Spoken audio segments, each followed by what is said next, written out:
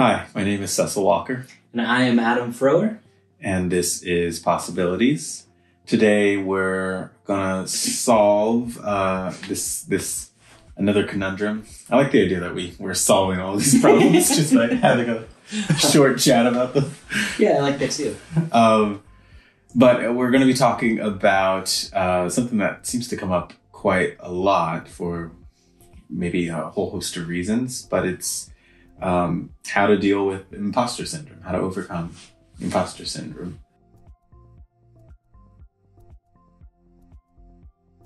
I'm sure we'll get into all the nooks and crannies of it, but a great way to start is by asking you Of course. to inform us about well, what we're even talking about. Uh, what is imposter syndrome? And if you got some ideas on even where it comes from, too, uh, please share with us.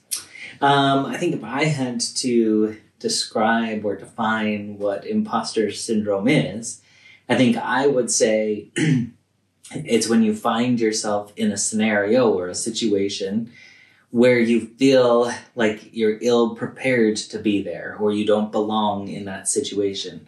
I think most often when we hear about imposter syndrome, it's that I got some job and I'm new at this, or I just am a newly minted, licensed, whatever. And I look at other people and they have all this experience, or this is the moment of truth. And so, how could I possibly have the knowledge or the experience that I need in order to perform these duties that now I've been entrusted to perform? Um, so, I think it oftentimes in a job situation it shows up, but I think also um, in social situations sometimes it shows up of like um, i'm at a i'm at a party or a get together and i look around the room and i think well i don't i don't have anything to contribute to this. I don't i i don't fit in here. All of these people seem to have have it all pulled together or have more money than i have or more status than i have. And so there's this like second guessing of myself or even doubting myself of do i belong in this place that i've found myself in? Hmm Yeah, I, I think that really captures it perfectly. It's it's something about being in a place, a setting, uh, a position, a role, um, a social environment, um, eh, maybe even a certain class or, or, or grouping of people, and uh, feeling like you don't quite belong there. Maybe you feel like you didn't earn your way there properly. You're not smart enough to be there. You're not whatever enough. Um, and I know it's oftentimes for a lot of people, um, people have described this in therapy to me that there is this element too of of feeling like you tricked your way into it. You Mhm. you uh, you deceived people somehow. Um, you made them think you're qualified in whatever way. That you made them think you're this certain kind of a person. That you have this certain kind of a personality, or this certain skill to you, or this certain knowledge to you that you don't seem to believe that you do actually possess those things. Um, and I think what's worth saying, uh, and I'm curious what your thoughts are on this, but I, I, think it's worth saying that all of these attributes to imposter syndrome that we described aren't necessarily objectively true. Mhm. It's from the person who feels they are uh, experiencing the imposter syndrome. There is this illusion of those things being true. They perceive that that is the context to their situation. Right. I'm not enough of this thing for this place that I'm in. Um, or that certain people are supposed to be doing this thing, and I'm not one of those people. Um, and I think it they're maybe not fabrications, but it's like it's our minds overextending these constructions that that seem to belong in a certain place um, without realizing how kind of intangible those constructions are in, in the first place. Yeah, I think that that's I think that's true. I think um, it kind of brings up a couple of things for me. One is um, the I was going to say the perception of reality. Mm. Um, I think oftentimes when we sit in situations, we have an expectation of what reality is. Um, and then I have a perception of what my Mhm. experience is. And and those two things seem incongruent, but really both of those things are my constructions. I have constructed that the requirement is this, and I have constructed that my experience is this, and it leaves a gap. Yeah. And so I think one of the things that I would say is you kind of asked me before and I didn't really answer, like, where does some of this come from? And I think one of the things that I would say is um, maybe a really harsh way of saying it, but it's a form of dishonesty in some way, right? Where it's that you're either not being honest about your experience level or your your ability or your knowledge. Um, you're under. I think oftentimes it's an underestimation of what you actually know, what you actually can do. So there's a dishonesty at that point, or there's a dishonesty about what the requirement is or what the standard is for everyone else. Yeah. And so I think part of it obviously begs the question what's the point or how does that position of dishonesty come about? And I don't think it's a malicious dishonesty, so I want to be really clear about that. But I think it's a it's an oftentimes a dishonesty about uh, of insecurity. Um, that because I feel insecure, then I must be unqualified. Mm-hmm. Um, because I feel un- uncertain about this, everyone must have more experience or must have more knowledge or, or more ability than I have. And so I think there's oftentimes a mixing of I feel uncertain and therefore reality can't be what I think it's mm-hmm. supposed to be. And I think you hear in that language there's a real consistency with anxiety. Um, it's anxiety is a misperception or a misattribution of something is dangerous or something is scary or something is threatening, when in actuality it isn't. Yeah. Um, or maybe it is, but it's not as threatening or dangerous as I perceive it to be. And so I think that um, anxiety, that that nervousness, that feeling, oftentimes overrides a sense of logic or a sense of knowledge or a sense of, of truth in mm-hmm. some way.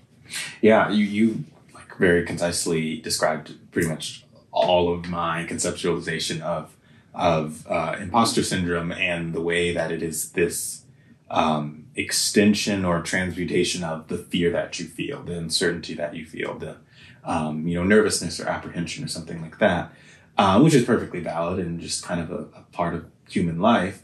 Um, but being able to see through it, like you're mm-hmm. saying, I think is kind of crucial in understanding it. Um, because if you know that this is just this is just discomfort. It's the same as the butterflies you get when you're doing something important. You got to give a speech. You got to give a presentation. It's um, you know some pivotal moment that's really important for you. Um, you you probably usually wouldn't let butterflies stop you from mm. doing the thing that you need to do. Yeah. In fact, you might even take note of those butterflies as okay, so this is a big moment. I, I'm I'm feeling it. Um, and I think it's kind of the same mindset with this. Like those butterflies aren't a real component to what is actually happening. This is just my sensational reaction to it. This is just what's going on inside of me as I digest this scenario. Uh, and it's the same with uh, imposter syndrome. If you feel that in your job or in your social group or whatever is happening in your life, um, it's like this is a sign of, okay, I feel some nervousness here. Um, but that doesn't mean I actually am unqualified or that I don't belong here or that I didn't earn these things or I don't have these positive traits to me that um, I, I feel like I should have or want to have. And another thing that you said that I really like and I think should stand out here is um, if someone is suffering from uh, it, whatever intensity or form of imposter syndrome that they are, um, but they still they're seeing themselves as not belonging in a place, but they somehow are in that place. Somehow they have actually earned their way into this job, or uh, or are socializing with people they feel like they don't really belong to, or aren't aren't good enough for. Um, the truth of the evidence that's around them is you did get there. Mm. And so either you're underestimating yourself or overestimating the people you think do belong there. Um, but either way, you, have miscalculated somehow. You've done the math wrong on who you are and who these hypothetical people are that do belong there are, and the mismatch between those two things. Yeah, one of the things I think that that might help with some of that is to remember that that life is developmental. Mm. Um, and I remember, so for 11 years, I was a university professor, and my job was to train clinicians, to train marriage and family therapists, to train clinical psychologists. And they would come in knowing nothing. And we as faculty members were very aware that they knew nothing. Mm-hmm. So we didn't have the expectation of you should be able to walk into a room and do therapy. Um, that wasn't our wasn't our expectation. But some of the students, I re- even remember, like on interview day, we would do a mock session, right, where they would have to sit and be a therapist for typically it was a couple, and the exercise was not how good of a therapist are you, because we knew you have no training to be a therapist. You should be a lousy therapist. So that obviously begs the question what then was the purpose of the exercise? And the purpose of the exercise was to see when things are challenging, when things get chaotic, how do you respond as a person? How compassionate are you? How empathetic are you? How understanding can you be? You don't need any training to be that kind of a person. Mm-hmm. And so from that place, I think sometimes people would feel like, oh, I need to be, I need to be a perfect therapist. And they would start to take this like very pretentious position of like, I know what I'm doing. And they would come off like super confident, but oftentimes that confidence would get in the way of them being compassionate or understanding. They would try to demonstrate, I know how to maneuver people instead of I know how to sit quietly with people. Mhm. And so what we were trying to see, they inadvertently missed the entire task because they were trying to live up to what they thought we wanted to see. And I think sometimes that's that's the reality of imposter syndrome is everybody with more experience than you knows what you should be capable of. You don't have to overcompensate for where you are developmentally because everybody ahead of you knows where you should be. Mhm. And so I think that's one thing that's really important. But I think the other thing is you with this developmental perspective, you have to remember that you're going to hit milestones at different times. So where where the mark is at one point, the mark will be different. And you can learn and you can grow. And everybody with more experience, their job is supposed to help you move from one developmental point to another developmental point. So simply by saying like I need some help, you're actually utilizing them for what they're there for. And so I think sometimes what exacerbates imposter syndrome is this need or this desire uh, to prove myself or to say, I can do this without any help whatsoever. And I think the reality is nobody in a position of power actually expects you to do it on your own. And so it's almost like you're you're your worst enemy Mhm. trying to do something that nobody actually expects you to do. Yeah, it, it's true. That's I think part of the illusion too. Is like there's this um, what you seem to think is the ideal or the target or what is expected of you, and that just simply isn't it at all. I've heard from a lot of clients actually, you know, when they start a job that, that has them in a significant role, thinking that um, I can't ask questions, I can't look stupid in the meetings, I can't look like I'm, I'm I've just recently looked up this stuff. I can't look like I don't know this material.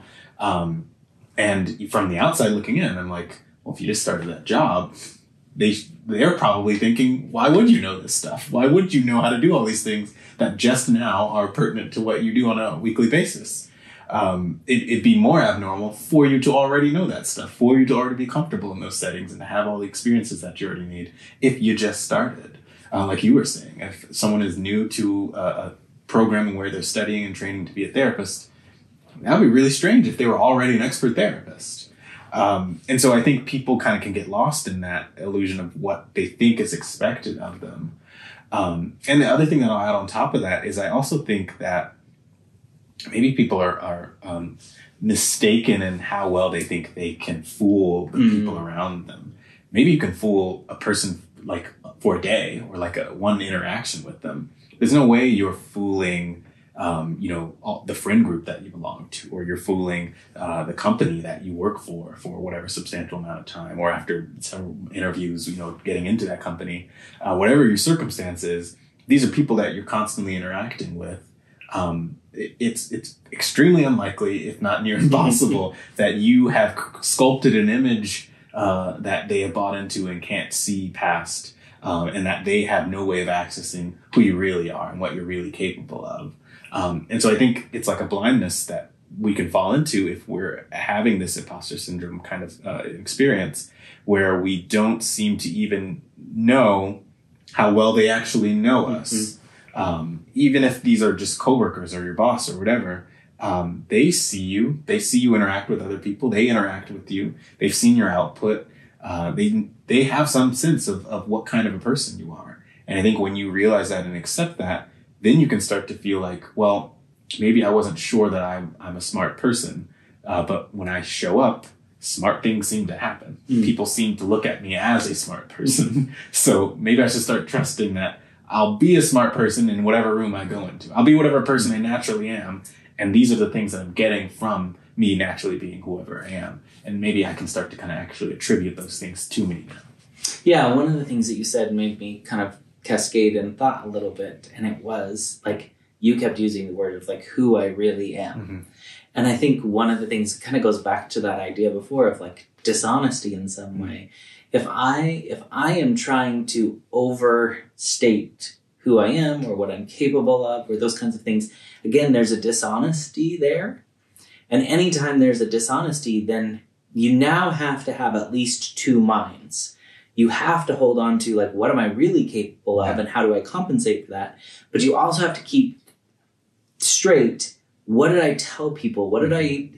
and so now I have to like so you can hear in that like keeping two minds, the anxiety automatically goes up because I have to keep straight mm-hmm. what's real, what did I tell them, how do I navigate, what if they find out that I told them something that wasn't true. So there's this constant like double think. Well, if half of my brain is dedicated to how do I keep this dishonesty straight, it only leaves me with half of my brain or capacity to do what I actually need to do. In neither of those roles am I showing up fully. And I think that's one of the things that if I were to say, like, how do you overcome imposter syndrome? I would say, remember this is all about identity. Who are you really? Mm-hmm. Um, how do you totally and authentically show up as your true self? If they like it or they don't like it, that's what it is. But if you can show up as your true self, you don't have to have the anxiety of how do I balance these two identities? How do I balance what I am really capable of versus what I'm telling people I'm capable of or trying to prove that I'm capable of?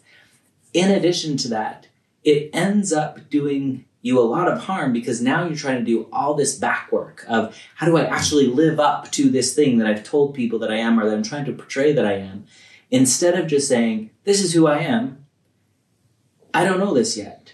Can you help me? Um, I don't have to hold the anxiety. I don't have to do any of the extra work. I don't have to do the background research. I don't have to do, I just say, hey, I need some help. And somebody who already knows what your capability is walks in and says, of course you need help. This is new to you. Um, and so I think just that idea of like almost this dual identity makes this a really difficult thing to maintain for any period of time. It sounds like part of what you're saying is if you're able to be genuinely honest with yourself, that is a surefire way out of um, the tension and discomfort of, of that imposter syndrome. And that honesty can mean uh, being clear and honest with yourself and with other people about, you know, here's what I feel like I'm capable of. Um, but I think also included in that is sometimes this hard kind of honesty of being able to attribute certain things to yourself. Like you do have this amount of whatever ability. Mm-hmm. Um, maybe you struggle with these things, and it's good to be honest about that too. Uh, maybe you feel self conscious about some of these things. Um, you're uncertain of how good or bad you are at that kind of a thing. Um, uh, but I think honesty across the board helps to kind of clarify that. And uh, maybe even combining that honesty with a truer sense of really knowing yourself too. Because if you're unsure of who you are, then you're unsure of how to present. how Mhm. you're being uh, perceived by other people too. What is coming across? If I don't really even know what's you know genuinely on the inside, what naturally comes across when I'm not forcing or projecting a certain type of an image. Uh, so I think that uh, it, sounds kind of cheesy, but knowing yourself Mhm. uh, is is also another really surefire way out of that discomfort of of uh, this imposter syndrome thing. Um, but I, I, I, in some context, and I'm thinking of a lot of like clients that I've I've worked with, something that seems to come up sometimes is you know this notion of I can't be too easy on myself. Mm. I've actually I, I need to uh, you know have this kind of a critical lens on myself, uh, whether because that's very motivating or that's just the mindset that I have is that I'm too if I'm too easygoing, too relaxed, um, then I'll just be slacking off, or I'll be you know some lesser version of myself somehow. Um, it- how do you respond to that aspect of this imposter syndrome thing when someone's coming from Hmm. this angle of um, not even that they're trying to preserve the anxiety, but but that they feel like um, if they were to try to give themselves credit for what they are actually capable of and really trust in those things, um, that seems like there's a hurdle there because there's this constant pull on uh, away from being too kind, too nice, too generous toward uh, you got to be stern with yourself. You got to be, you know, realistic means being harsh. Hmm.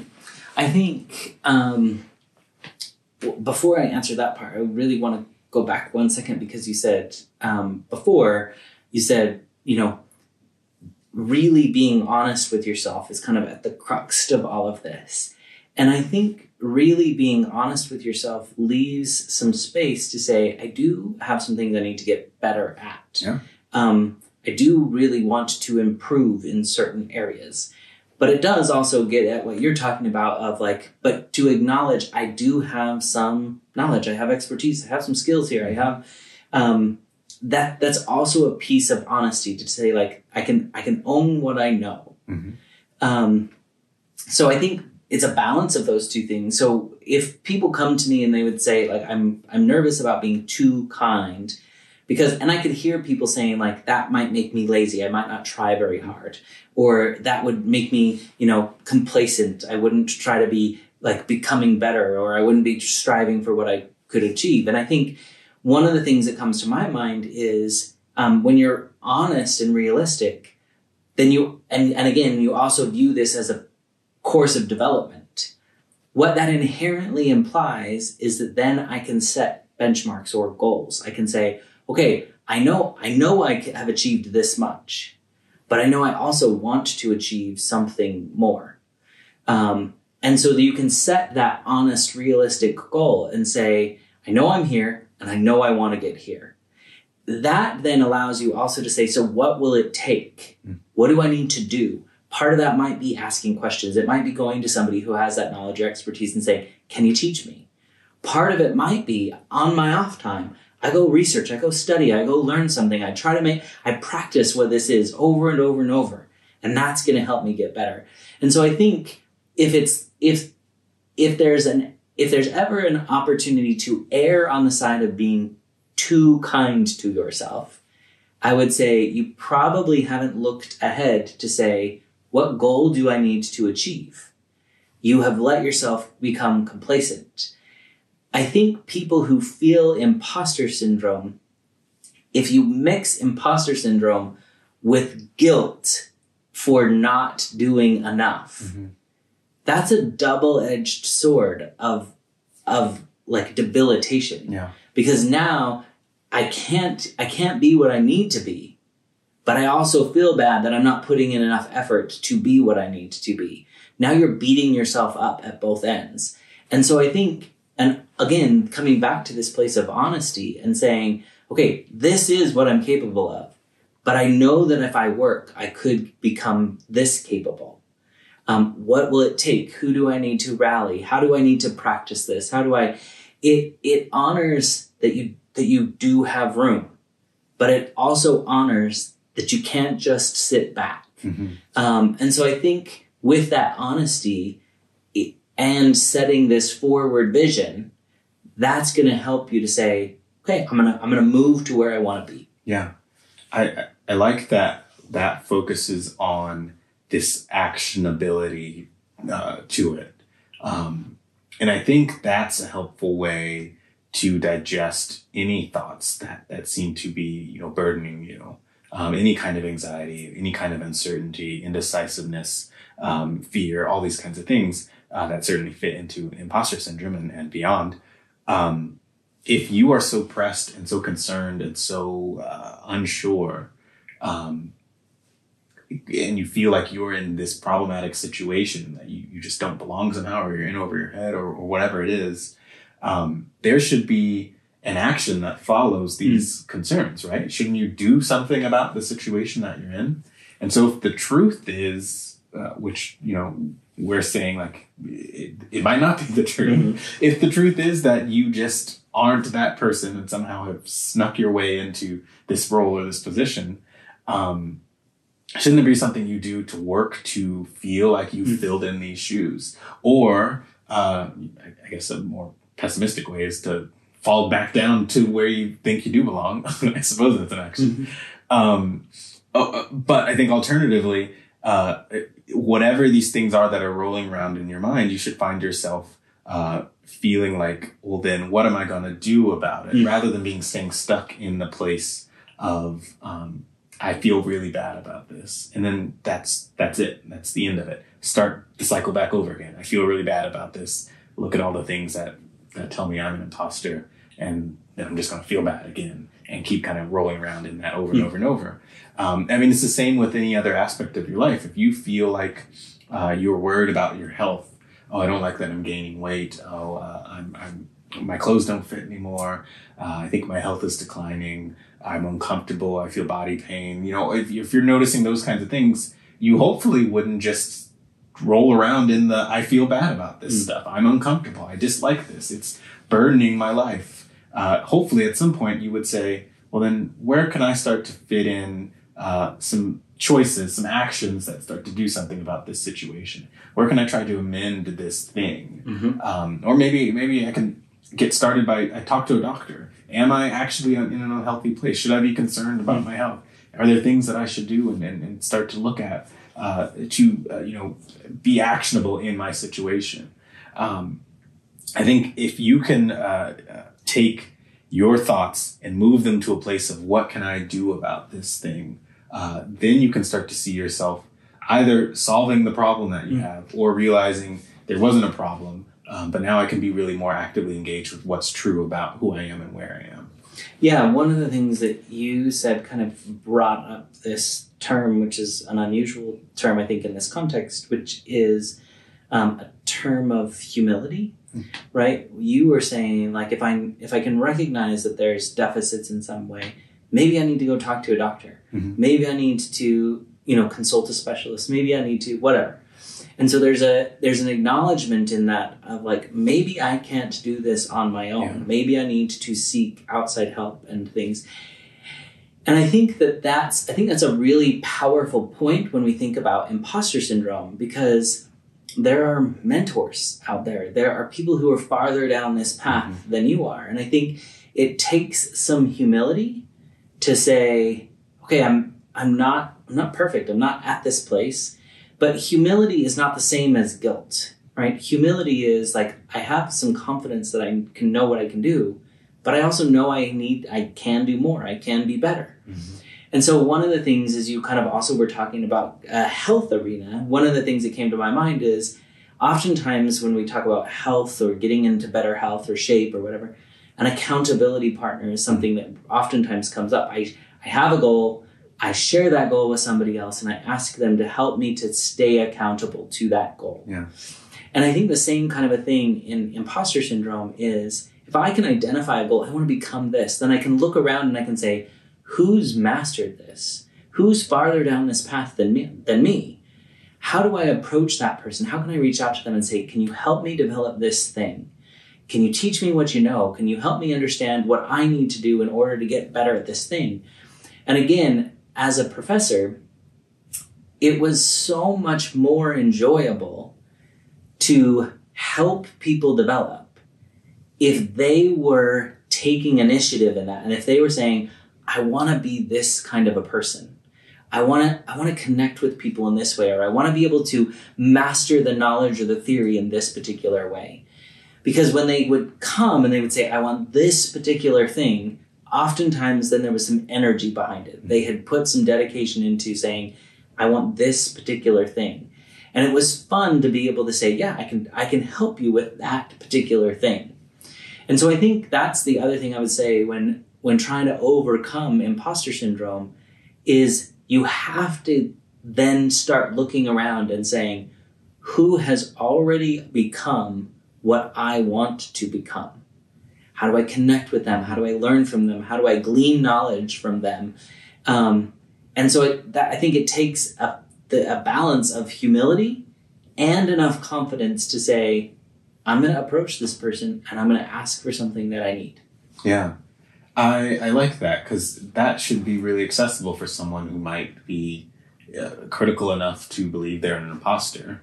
Um, you know, if, if you can criticize yourself, I feel like it's it's a short walk over to uh, finding that kind of mm. humility, um, to feel small enough that um, you can defer to maybe someone else knows a bit about what's going on here. Someone else has seen this path. Any any other things we left unturned there? Anything you would add to? I don't think so. I think um, I think just remembering that this is a one step at a time. Mm-hmm. Um, I think remembering that you can access resources, yeah. remembering that it's it's okay to be at the place you're at. That at some point everybody was at that mm-hmm. place. Um, I think all of those things are really helpful. Um, I guess maybe the last thing I would say is um,